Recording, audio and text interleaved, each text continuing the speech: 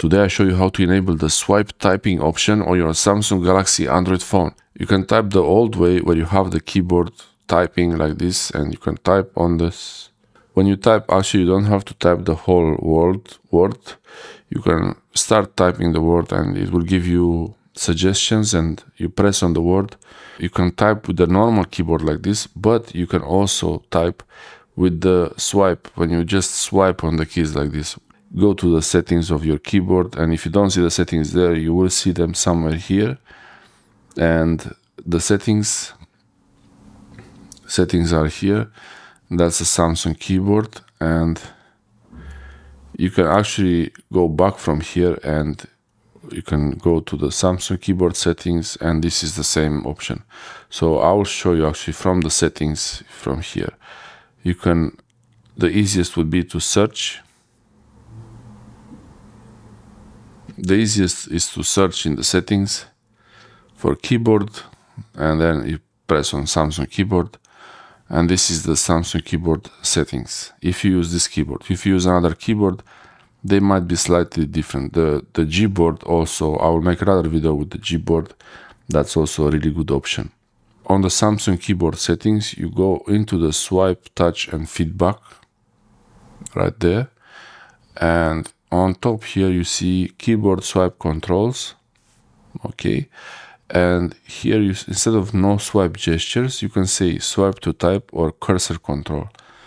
It's up to you how you prefer it. I would prefer the swipe to type. Let's type something. I will type the same word but with the swipe. So this is how you type it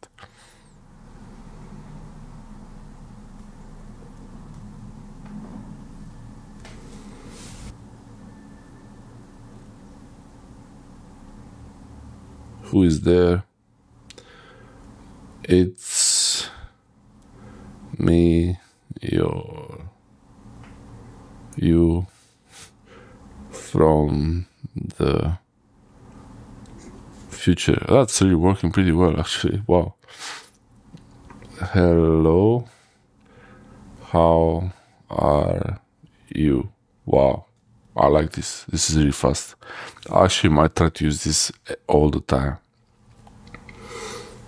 You could combine them so you could say, Hello, how are you?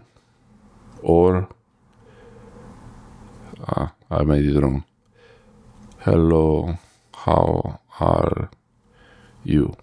It's much faster with the glide typing.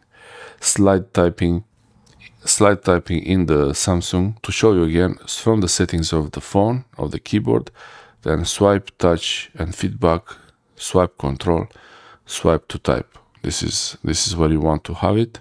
If you want to disable it, you can always go back into the settings and then swipe, touch, gestures, keyboard, swipe controls, no swipe gesture, and then there is no more swiping action it's worth it's worth trying. Maybe it's really actually useful. It could be really it could be it could increase the speed of your typing on your android phone and you can always disable it if you don't like it. Thanks for watching